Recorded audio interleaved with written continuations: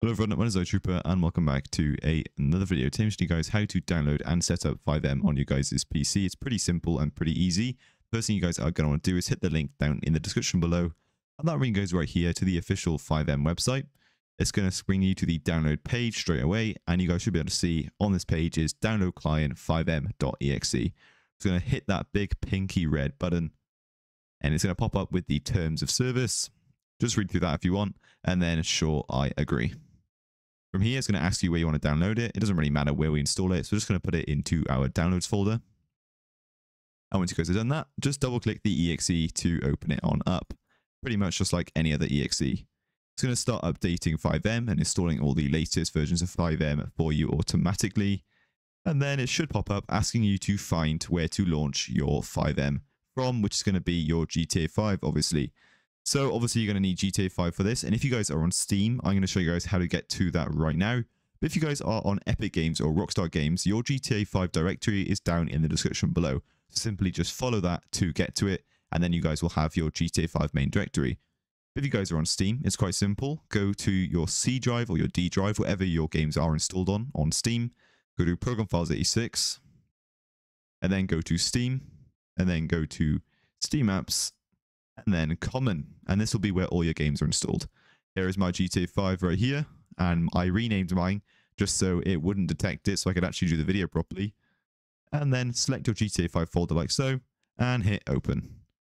And then it's going to find your GTA5.exe and that is the file we're going to actually want to select for our FiveM to run off. Once you guys have selected your GTA5.exe, hit open again. And then it should verify your game content. It's going to ask you to update the local game data. Hit yes, and then it's going to start doing that as well. None of this takes very long whatsoever, and I'll cut back to once this is done. Once it's done, you guys should be able to see it popped up with starting FiveM. Going to analyze your game data, and it will pretty much start loading up FiveM for you after a couple of seconds of pretty much checking your game files are all legit. And then we can actually load into FiveM and join our very first FiveM server. And just like that, it's going to pop up yet again with a terms of service. Nothing to worry about. Just hit I accept. And then just like that, you guys are loading into FiveM. It's going to pop up with a screen to log in. And here you can log in to your cfx.re account. Now, if you haven't got one of those, just hit login via browser or hit register right here. And you can create your very own cfx.re account. But you don't actually need one of those to even get into FiveM to begin with. You can literally just hit cancel. I don't want to sign up. And then from here, you guys can select one of these servers on the home screen, or you can select one of the feature servers, whatever you want, or you can hit play. And this is going to be your server list. This is pretty much every single public server on FiveM in existence ever. And obviously, you can also search for them here.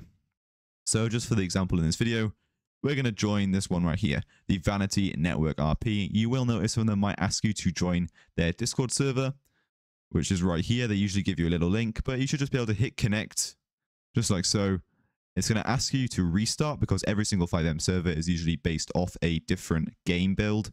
Sometimes they're built off the same one you're currently running. Just hit OK. It's going to verify your game content. It's going to ask you to update your local game data again. This is completely normal. It'll do everything for you and then it usually restarts FiveM, and after a couple of seconds, you can load straight into the server. That is pretty much it. Your FiveM is now fully set up and complete, and now you guys can hop on FiveM and literally play any server you guys want. And if you guys are looking to create your own FiveM server, you can check out my website, HT Network, down in the description below, which will take you to a really, really cool page which literally sets up an entirely modded FiveM server for you.